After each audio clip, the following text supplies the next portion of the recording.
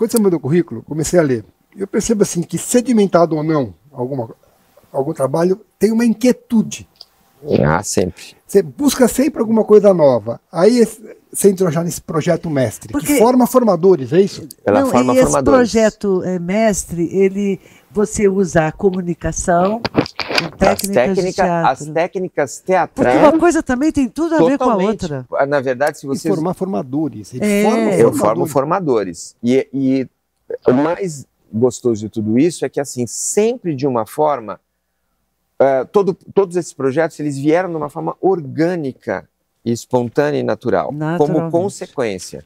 Mas o, isso é tão bom, né? Esse que é o bom da vida. é orgânico, mas baseado numa inquietude sua, ah, né? naturalmente. Também, né? Eu acho que nós temos que ter duas coisas para podermos seguir. Mas acho que isso é o artista nato. Ele, ele tem, tem, isso. Ah, tem. Ele tem. Senão ele não cria, senão ele não sai do lugar. Não. Senão ele vive só ele mesmo. e não, ou não amplia a sua Exato, vibração para seu mundinho, pra, né? arte como é. um todo. Né? Agora o projeto Mestre, fala um pouco dele. Então, o projeto Mestre ele veio porque o que aconteceu? Eu, quando comecei a, a lecionar na Recrearte, na área de teatro, eu comecei a receber muitos professores.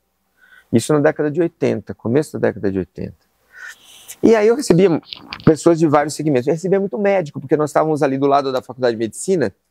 E muitos falavam, ah, eu quero fazer um cursinho de teatro para melhorar um pouquinho, tal, para comunicar melhor. A comunicação. Mas aí eu comecei a receber muitos professores. Até que ah, chegou, ah, um, dois anos depois que eu comecei a fazer esse trabalho, eu comecei.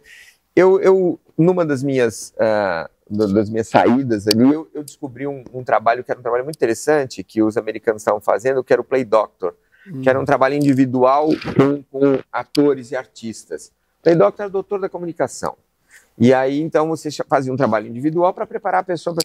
Nada mais do que a pessoa diz hoje, ela pode chamar de coaching, ou pode chamar de, uhum. de, de um treinador, ou de um. Só muda de nome. Não, muda de nome. Mas eu, eu achei que aquilo lá, um, um trabalho. E eu comecei a receber muitas pessoas e professores até renomados que queriam fazer um trabalho comigo.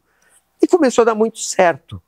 E eu comecei a repensar aquilo e comecei a repensar a educação a partir daí. Aí vem a inquietude. E comecei, eu tinha que preparar e ampliar a minha equipe, porque a escola estava crescendo. E eu ah. tinha uh, pessoas muito vocacionadas que queriam uh, dividir comigo o projeto, mas para poder dividir com essas pessoas o projeto, a última coisa que eu, que eu gostaria de fazer que não queria era colocar a pessoa numa camisa de força.